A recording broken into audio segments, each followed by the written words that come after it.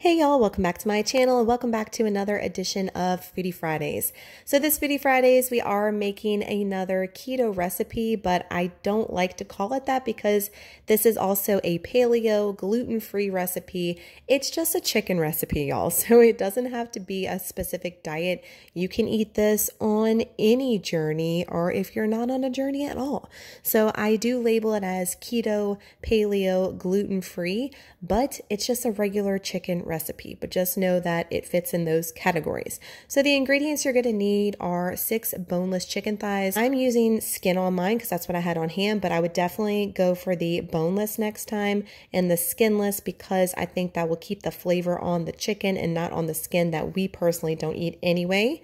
You're going to need a tablespoon of olive oil, one lemon zested and juiced, one teaspoon of dried basil, a half a teaspoon of garlic powder, half a teaspoon or more of black pepper, and a half a cup of chicken stock. And then fresh basil is optional, but I definitely recommend it. So if you want to see how to make this super easy, cheap, crock pot easy recipe, keep on watching this video.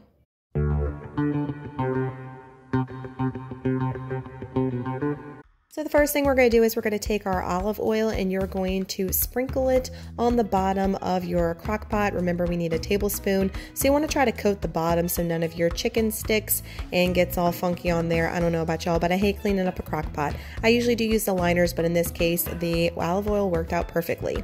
Then we're going to take our chicken and we're going to put it on top of the olive oil and just kind of press it in there and make sure it all fits. I use exactly six chicken thighs here, but you can use like like a pound or a pound and a half. Then we're going to take our lemon and we are going to juice it. Now, what I should have done is I should have zested it first and then juiced it, but I had a mom brain moment. As y'all know, I have those often here on my channel.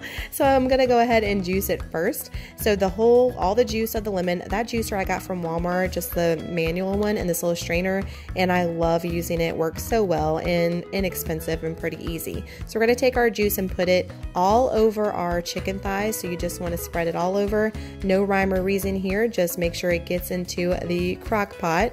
And then what we're going to do is we're going to add our chicken broth. And remember with our chicken broth, we are going to be adding half of cup of our chicken stock. I'm just going to go in with this organic because that's what I had on hand too. I think this is low sodium and I do like purchasing that one from Walmart if you're interested.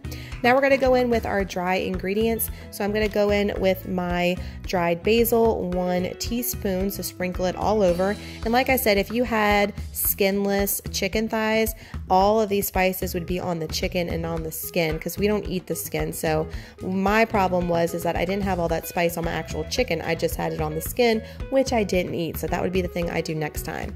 I added my garlic powder and now I'm going to go in with my black pepper. If you've watched any of my foodie videos, you'll know that I am heavy-handed with the black pepper. I think it is an amazing seasoning with nothing to worry about as far as putting it in your food for caloric intake carbs, whatever, and it just adds a ton of flavor. So I always go a little buck wild with the black pepper.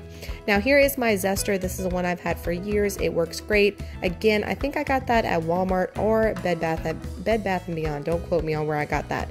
So as y'all can see, I'm going in and I am zesting the lemon after it's been juiced, but that's okay. And I'm showing you here all the zest that you want to get in there. That zest gives a ton of flavor. I love putting lemon zest in savory dishes and especially when baking. I love me some zest.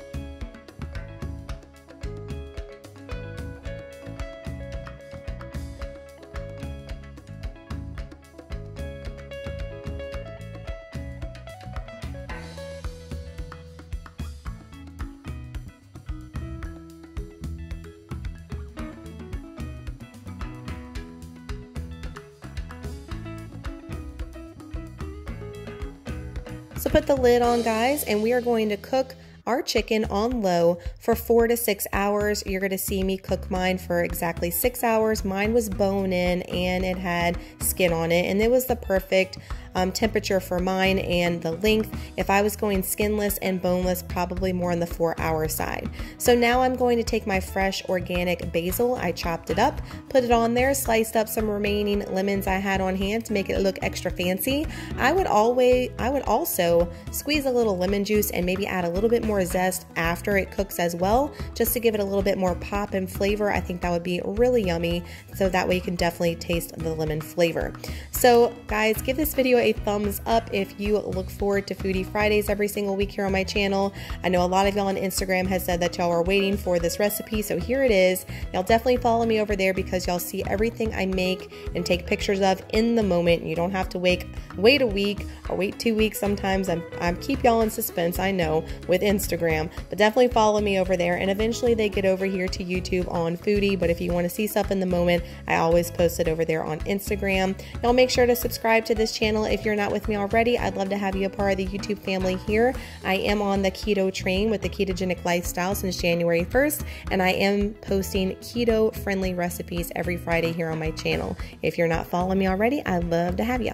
Y'all have an awesome Friday, an amazing weekend. Y'all come back and let me know if you make this recipe. I this recipe is amazing. We will definitely be making it again. It's definitely a keeper. I just wanted to mention those suggestions to you. I always like to mention things that I would do different next time for you guys so you don't make the same mistakes or you go ahead and make it awesome the very first time.